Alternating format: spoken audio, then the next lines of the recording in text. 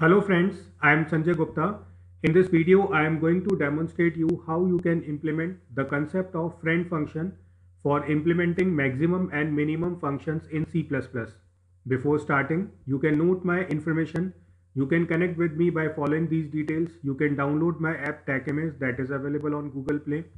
You can search my channel on YouTube by my name Sanjay Gupta. You can open my channel. You can subscribe it by clicking on this button here various programming languages related videos and playlists are available. You can watch and you can improve your programming skills by these videos. Now coming on to the topic, uh, I am implementing two friend functions in this demonstration. So I have already implemented a code for you. Here header file iostream is included.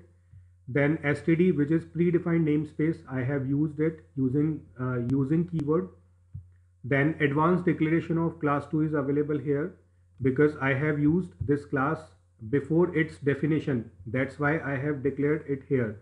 So whenever you want to use name of class before its definition, then you have to declare it first.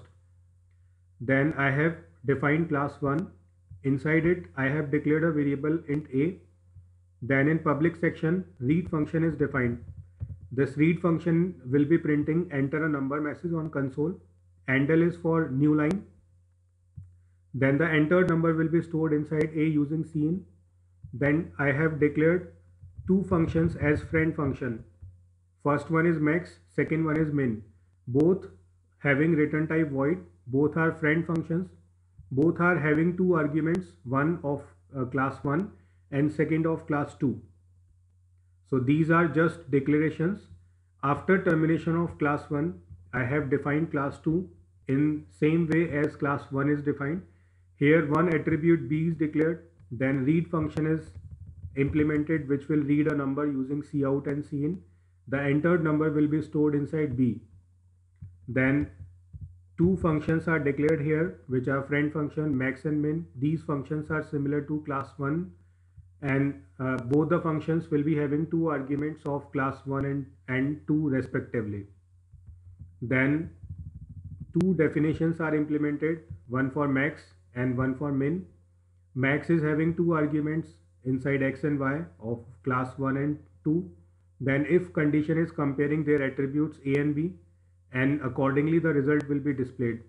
Notice that these a and b attributes are declared in private section of private sections of class 1 and 2 and still we are accessing uh, them together in this function because this max function is friend function of both the classes. Similarly, main function is implemented. Here, if condition is modified, here less than sign is available instead of greater than. Rest of the statements are same and message is changed. Here, lesser is printed instead of greater. So these two functions are friend functions in this program.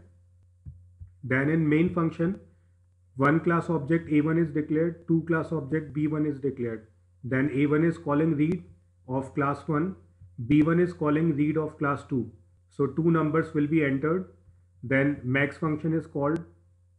Uh, a1 and b1 both are passed as an argument. Then main function is called a1 and b1 both are passed as arguments. So this way calling of friend function is achieved in main function. So i hope you have understood the demonstration. Now i am going to execute this code for you it is asking for two numbers.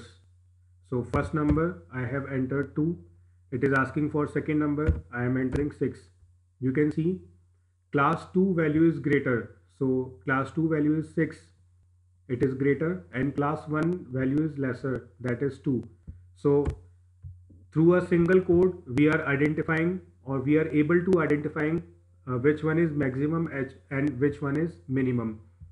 So friends if you want to implement more than one friend functions uh, in two or more than two classes then it is uh, possible in C++. I hope you have understood the concept well. If you want to watch more programming related videos, you can uh, open my channel Sanjay Gupta on YouTube. You can subscribe it. Here various programming languages related videos are available. So improve your programming, programming skills by watching my videos. Thank you for watching this video.